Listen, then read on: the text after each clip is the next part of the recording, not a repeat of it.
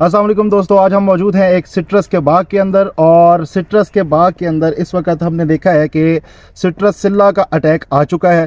चूँकि बागात जो है वो फोट अभी कर रहे हैं, नई फोट पीछे सितंबर और अगस्त के महीनों के अंदर चूँकि टम्परेचर ज़्यादा था, असल टाइम वो था फोट करने का, लेकिन चूँकि टम्परेचर ज़्यादा था, इस वजह से फोट बाग नहीं कर पाए। अब कुछ टम्परेचर नॉर्मल हुआ है तो बागात जो हैं वो फोट की तरफ़ आ रहे हैं। जैसे ही फोट हुई है सिट्रसिल्ला का अटैक साथ में हो चुका है। सिट्रसिल्ला के अटैक की निशानी ये है कि आपको पत्तों के ऊपर इसकी ड्रॉपिंग वाइट कलर का पाउडर नज़र आएगा और इसके बच्चे आपको नज़र आएँगे चिपटे पीले रंग के और इसके अलावा आपको बालक भी उड़ता हुआ नज़र आएगा, पत्तों के ऊपर बैठा हुआ नज़र आएगा, अमूमन ये पत्ते की पिछली साइड पे आपको नज़र आएगा।